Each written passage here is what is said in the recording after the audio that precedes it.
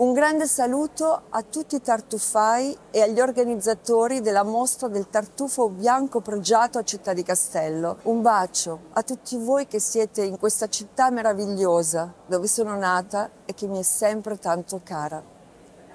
Con questo videomessaggio Monica Bellucci ha voluto essere in qualche modo vicina alla 44esima edizione del Salone Nazionale Tartufo Bianco Pregiato e alla sua città. Sono stati tre giorni ricchi di eventi dove le strade del centro storico sono state pervase dal profumo inebriante del tartufo bianco. Siamo venuti in un bosco qui alla periferia della città che produce tartufo bianco e anche in parte tartufo nero. Abbiamo messo in cerca i cani e hanno dato qualche risultato, via, nonostante l'annata sia stata molto avara finora a causa della siccità estiva, però stamattina abbiamo trovato 3 o 4 neri e addirittura 5 o 6 trifole. Si parte la mattina di buon'ora, molto presto. Poi si raggiungono le zone di produzione della trifola, in quanto poi la, la Valtiberina è piena, iniziamo la cerca che può essere fatta sui fossi, può essere fatta su dei campi abbandonati, su dei terreni più che altro di natura argillosa. Ognuno ha i suoi luoghi preferiti che non vanno svelati.